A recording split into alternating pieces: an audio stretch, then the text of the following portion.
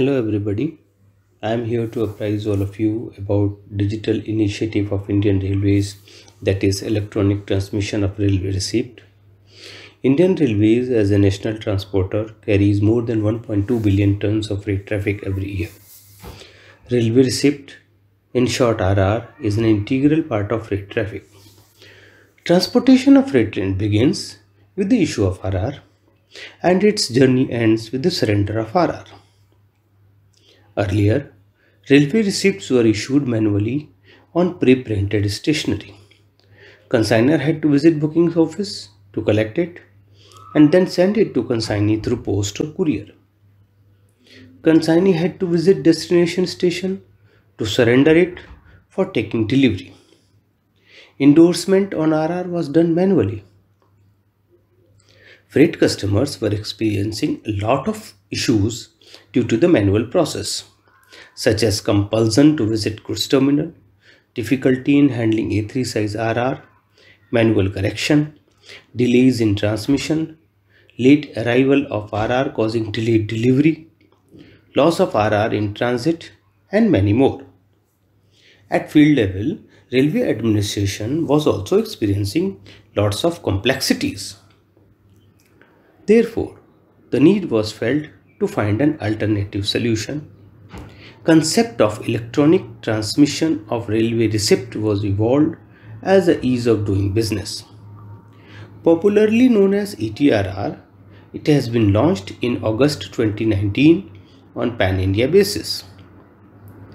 It is a user-friendly and paperless transaction system where RR is transmitted electronically to the customer to the destination station and also to railway accounts offices.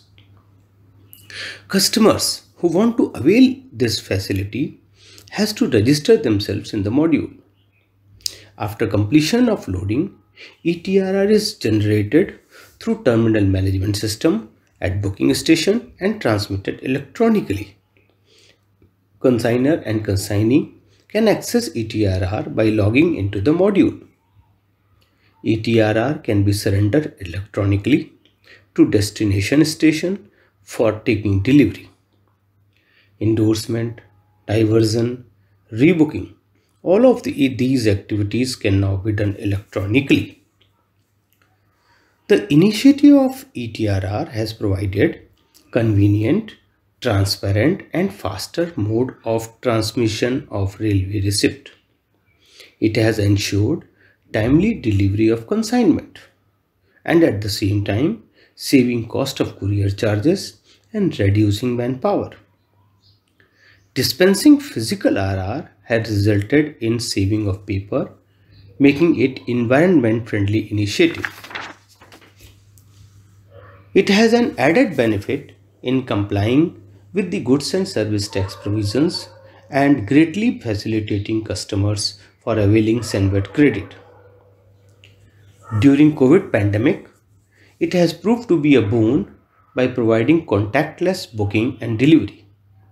Its usage in freight booking ensured supply of essential commodities such as food grains, fruits, vegetables, dairy products from one part of the country to the other. The impact of ETRR has been enormous. It has helped freight operation to reach new heights and has benefited freight customers to a larger extent.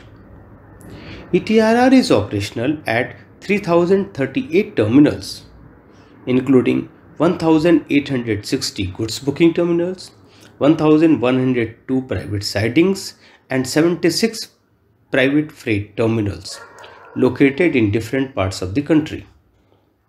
Freight customers have warmly welcomed this initiative. Within three years of its launch, 7,718 customers have registered for it. During 2021-22, the number of ETRRs issued is 5,45,452, which is 97.3% of total RRs facilitating transportation of around 1200 metric ton of cargo by around 4 lakh rakes.